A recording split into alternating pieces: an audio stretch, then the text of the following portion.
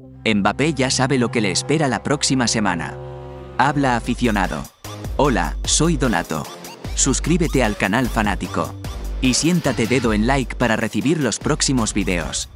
Entonces vamos a la...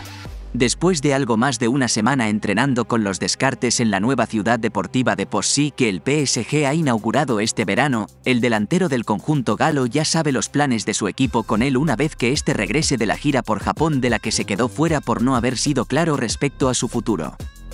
Eso será el próximo lunes, momento en el que Luis Enrique ha citado de nuevo a los suyos ya en París y donde, según RMC Sports, Kylian Mbappé seguirá entrenando al margen dejando claro que no forma parte del grupo de trabajo para la nueva temporada.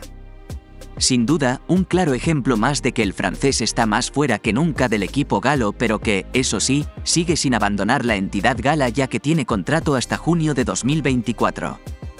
De hecho, la opción de que siga un año más en París, incluso sin jugar, en la grada, no deja de coger fuerza y seguirá siendo una hipótesis al menos hasta el 31 de agosto que es la fecha límite que tiene para fichar por otro club. La situación de Kylian Mbappé ha llegado a un momento de bloqueo que, visto lo visto, la única solución para que se resuelva de manera satisfactoria para todas las partes es a través de una venta. Una venta, eso sí, a un solo club, que es el Real Madrid ya que a la puerta del conjunto galo han llamado varios clubes desde que se sabe que Mbappé está en venta y todos se han encontrado con la negativa del jugador.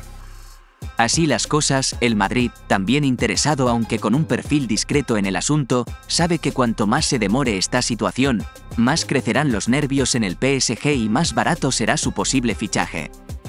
De hecho, según Le Parisien, el Real Madrid estaría esperando al 15 de agosto para lanzar su primera oferta que, de ser lo suficientemente cuantiosa para los intereses de Al-Khelaifi, será aceptada de inmediato.